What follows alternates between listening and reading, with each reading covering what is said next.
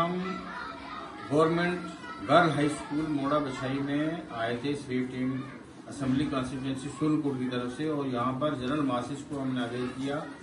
Bag team को avail किया कि उनकी क्या ड्यूटीज़ हैं, और उसके अलावा ईएलसी क्लब बनाया, जिसमें बच्चों ने पेंटिंग में हिस्सा लिया, और पेंटिंग कंपटीशन में फ़र्स्ट सेकंड थर्ड जो है प्राइज डिस्ट्रीब्यूशन भी किए गए स्टूडेंट्स के दरमियान। यहाँ पर यहाँ के बीएलओ और यहाँ के सीनियर सिटीजन जो है हमारे साथ मौजूद रहे इस प्रोग्राम में। और काफ़ी अच्छा प्रोग्राम रहा अवेयरनेस का। Sweep team assembly constituency Sonpur की तरफ़ से शुक्रिया।